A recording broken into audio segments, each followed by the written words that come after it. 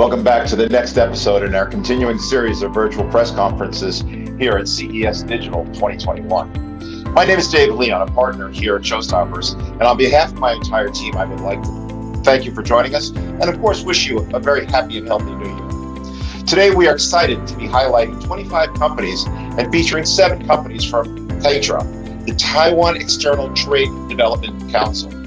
First, let me welcome to our show Tim Bajarin. Tim is recognized as one of the leading industry consultants, analysts, and futurists covering the field of personal computers and consumer technology. Tim has been with Creative uh, uh, Strategies since 1981 and has served as a consultant to most of the leading hardware and software vendors in the industry, including IBM, Apple, Xerox, Hewlett Packard, Dell, AT&T, Microsoft, and numerous others. I look forward to having Tim join us and tell us more about himself when he comes on shortly. Good day. I'm Tim Bajarin, President of Creative Strategies.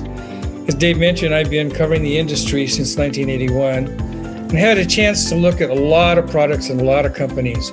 Trade organizations and organizations like TAITRA play an incredibly important role in advancing the technologies that they represent. Today, we're going to look at seven different companies from uh, that are working have been working with TAITRA and TAITRA working with them. I got a chance to look at all the products that are going to be introduced today, and they represent some very important sectors in technology. Um, our first company today is Advantech, and I'd like to introduce the product sales manager Andrew Lund. Andrew Lund from Advantech. Thanks, uh, Tim. Appreciate that. It's good to be on here with you. Um, I'm going to take a few minutes and explain something from Advantech uh, that's uh, that we won this award for. There's two products, and I'm going to provide some technology uh, or some background to the technology to help people understand that.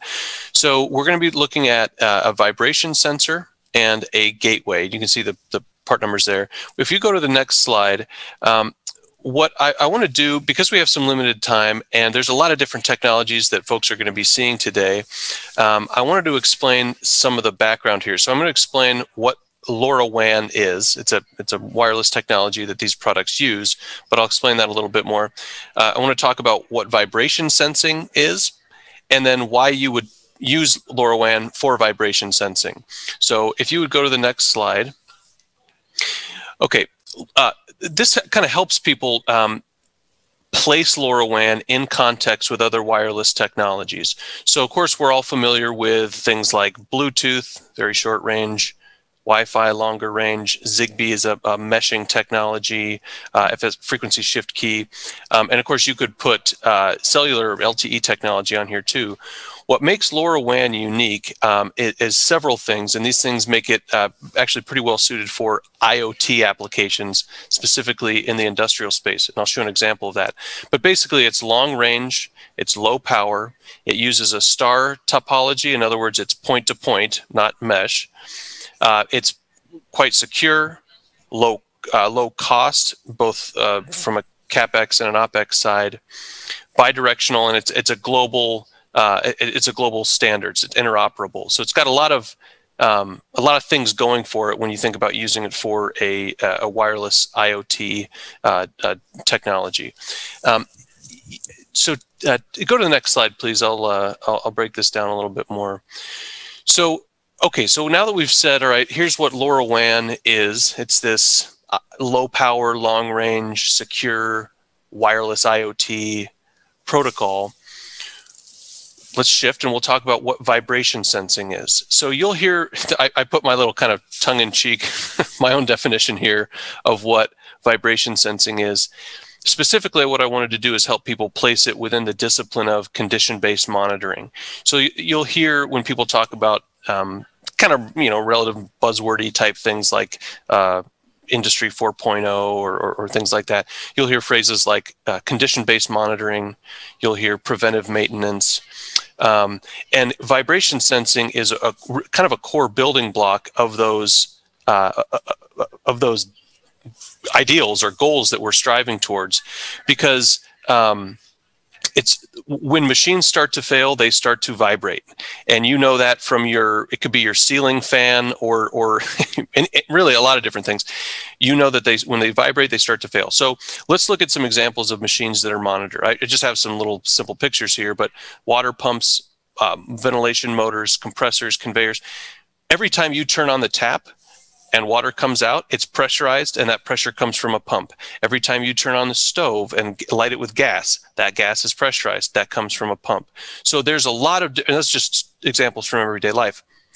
So the point is, this is really, uh, uh, if there was a secure, low cost, efficient way to monitor vibration, it would make life better across the board in a lot of different ways. So how people do that today, there are portable meters, and at the bottom of the slide, you can see some portable meters um, that people go around with kind of uh, pump by pump or motor by motor. There's portable analyzers that provide more information. There's wi wired ways to do this. Um, there's uh, a, a, stationary kind of continuous way to do vibration sensing, and then there's a wireless. And that uh, image in the bottom right-hand corner is the Advantech WISE 2410.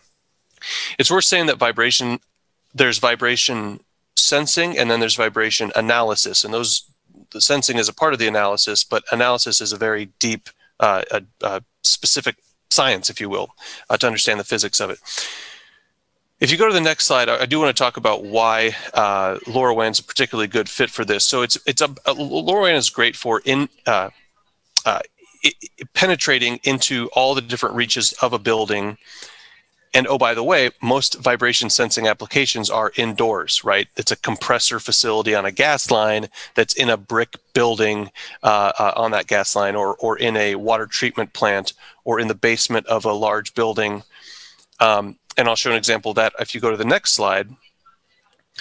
Um, this is a uh, sort of a brief sort of use case, if you will, just describing the way that the Advantech WISE 6610, that's a LoRaWAN gateway, communicates over LoRaWAN to those WISE 2410s you see on a um, on a pump uh, within basically a pump system within this cooling tower application.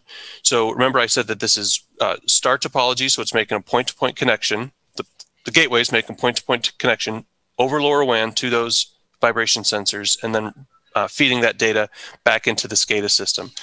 There's a lot more I could say about this. I want to be sensitive to time. If there's any quick questions, be happy to take those. But uh, I can pause now and, and, and, and leave it at that, Tim. Thank you, Andrew. Um, you know, this particular segment is really fascinating. And it's actually one that most of us don't think about in the context of IoT. The fact that you have all of these motors and all of these different devices that actually have to be monitored in an IoT world. You guys are providing some pretty interesting stuff. And I learned a lot from what you said today. One question I have for you is when you actually uh, uh, um, put this together, I'm assuming this is a cloud based solution. Is that right? That's right. Yeah, there's an age. It, it, can be people can see data locally if they want to, but certainly most applications that gateway is providing is feeding data up to an MQTT broker and into a cloud application like Azure, AWS, or, or others. And in, in in this particular instance, I'm assuming you have a sales force that goes out and actually, uh, or a, a, team of uh, individuals who actually work with those who are uh, uh, putting it together. That's right. Yeah, a lot of our resale partners are, are have some specialty in vibration analysis, and so that's uh, that's that's a big part of our process. Well, we've run out of time, but thank you so much. That was fascinating.